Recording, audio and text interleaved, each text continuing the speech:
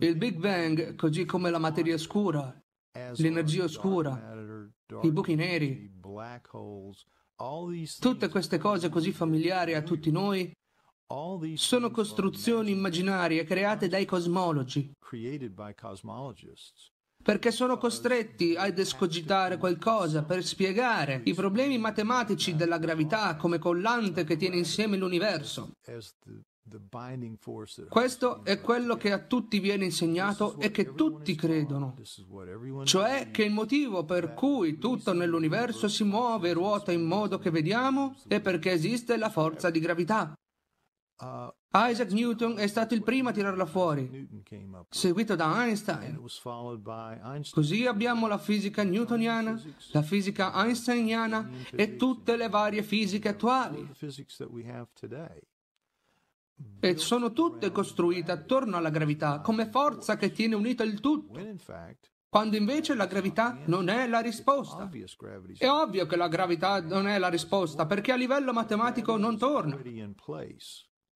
Ma la gravità era una realtà fermamente consolidata quando cominciarono a capire che matematicamente non funziona. Avrebbero dovuto abbandonare il concetto di gravità molto tempo fa, ma questo non viene mai fatto.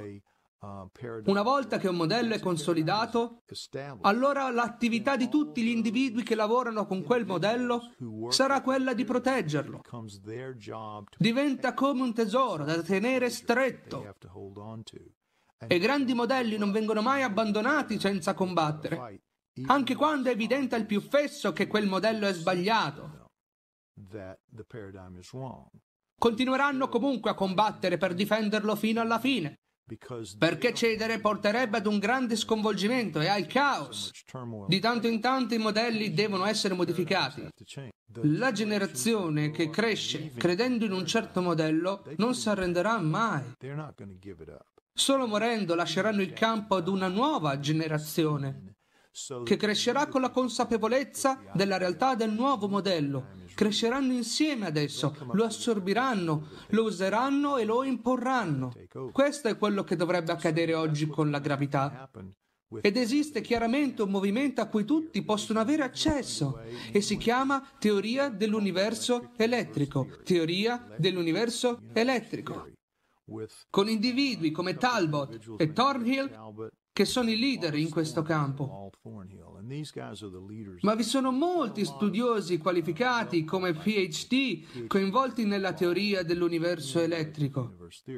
Quello che afferma e secondo me stabilisce è che l'elettricità, ovvero plasma elettrificato, è la forza che tiene insieme l'universo. Non la gravità, ma plasma elettrificato. Questo perché l'elettricità è 1 seguito da 39 zeri più potente della gravità. L'elettricità è 1 alla 39esima potenza più forte della gravità. Quindi provate ad immaginare delle particelle di polvere. Perché gli scienziati mainstream così ci dicono che tutto è cominciato. Come un fulmine nella pozza d'acqua calda e la vita improvvisamente appare. È un'altra di quelle fiabe che inventano per menti semplici. E quindi dicono che due particelle di polvere, che fluttuano nella vastità del vuoto spaziale, si avvicinano ed hanno sufficiente forza di gravità da unirsi l'una all'altra. Queste due unite si muovono ed incontrano un'altra particella di polvere e l'attraggono. E queste tre vanno, incontrano un'altra particella e l'attraggono. Non è vero? Niente. A livello granulare la gravità non ha alcuna forza. Non riesce a fare così. Semplicemente sbattono e rimbalzano come palle da biliardo e se ne vanno. Non può accadere come dicono loro. Ma quelle due particelle in presenza di elettricità, di plasma elettrificato, che c'è, sta dappertutto, è la minestra dentro cui viviamo. Noi tutti ci nuotiamo dentro ogni minuto, ogni giorno, ne sono bagnato ora mentre dico queste parole, è dappertutto. Quella è la forza che permette alle particelle di connettersi. Quella forza fa sì che le, quelle cose accadano. Senza elettricità non c'è gravità. La gravità esiste in presenza di elettricità. E siccome l'elettricità è dappertutto, questo è quello che ha fregato Newton, Einstein e tutti gli altri. Non proprio fregati, semplicemente non vogliono avere a che fare con queste cose. Non vogliono avere a che fare con i cambiamenti che devono verificarsi per accettare che la gravità è sbagliata e l'elettricità è giusta. E questo vale anche per l'inizio della vita, la nascita del sistema solare. Tutto comincia con un errore che si ingigantisce sempre di più. Non c'è niente di corretto, giusto o vero in tutta quella roba. È sbagliato. Inventano delle cose che vadano d'accordo col loro modello. È più che evidente che la matematica della gravità non funziona. Pensa che il 95-97% dell'universo dovrebbe essere composto di materia oscura. E là dentro ci dovrebbe essere energia oscura, eccetera, un enorme volume di quantità sconosciuta. E perché tutto ciò? Perché la gravità è così debole che nelle equazioni quello che risulta spiegabile con essa è tanto così. E quindi devono inventarsi tutto il resto per far tornare i conti quando in realtà basta metterci dentro l'elettricità e non hai più problemi, i conti tornano. Diventa una regolare, tranquilla equazione. Tutti possono vederlo. Tutti quelli che ci lavorano possono capire che l'elettricità è la risposta. Ora sono relativamente in pochi a lavorare nel campo dell'universo elettrico. Ma verrà un giorno in cui tutta la scienza dovrà confrontarsi col fatto che la gravità deve essere abbandonata e rimpiazzata con l'elettricità. Quando tutti lavoreranno d'accordo sullo stesso argomento, allora si potranno ricavare tutte le equazioni e la cosa si risolverà. Ma cambierà completamente il nostro modo di vedere la realtà. Uh, Chissà quali saranno le conseguenze. Una delle conseguenze sarà sicuramente l'energia libera. E questo è uno dei motivi per cui non vogliono cambiare il paradigma, perché ci condurrebbe su quel sentiero che tutti siamo d'accordo di dover percorrere. Ma ci sono forze schierate contro nell'idea di energia libera.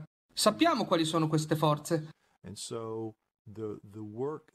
Nessuno spinge per questa cosa tra gli alti ranghi, perché se lo facessero andrebbero contro a spinte all'indietro. Questo non vuole dire che la gravità non uscirà fuori. La verità esce sempre fuori e questo succederà alla fine. Gente come me ora sono voci che gridano nel deserto. Ma il messaggio lentamente si diffonde di persona in persona, come sempre succede, ed alla fine si raggiungerà una massa critica. Si arriverà ad un punto di svolta. E dalle persone che rappresentano l'autorità, se non lo faranno loro stessi, verranno fatte loro domande, verrà fatta pressione su di loro. E questo cambierà le dinamiche e alla fine avverrà lo scarto e la nuova realtà dell'elettricità prenderà il sopravvento sulla gravità. È inevitabile. Tra 5, 10, 15, 20 anni, non so quando, ma accadrà. Deve accadere, perché è una cosa vera. Altrettanto ignoranti siamo noi oggi riguardo alla vera realtà. Siamo clamorosamente ignoranti perché questi fatti sono a nostra disposizione, sono a disposizione dei nostri scienziati, ma essi si rifiutano di prenderli in considerazione, perché significherebbe cambiare tutto. I libri, ciò che viene insegnato e viene creduto. Nessuno vuole cambiare. Dopo una certa età la gente non vuole più fare cambiamenti ma vuole conservare le cose come stanno. È così che succede e questo fanno. Mantenere le cose come stanno. Ecco perché sono sempre i giovani che fanno le rivoluzioni. I giovani operano i cambiamenti, i giovani non hanno paura dei cambiamenti, i meno giovani invece lo sono. È un peccato, ma è così. Siamo inchiodati a queste ridicole e insensate cose che ci vengono propinate come verità dalla scienza ufficiale, quando di fatto loro sanno almeno quanto me che quello che fanno è sbagliato. Non solo sbagliato, ma assurdamente sbagliato, vergognosamente sbagliato. Non so come facciano a dormire la notte. Cioè, ritirano l'assegno e dormono tranquilli, ecco come fanno. Riconoscere ed ammettere che tutto quello che hanno creduto e che è stato loro insegnato, che hanno difeso e per cui hanno lottato, era sbagliato, una perdita di tempo e alla fine anche abbastanza stupido. Questo è uno scoglio che tanta gente dovrà superare e sicuramente ci riusciranno.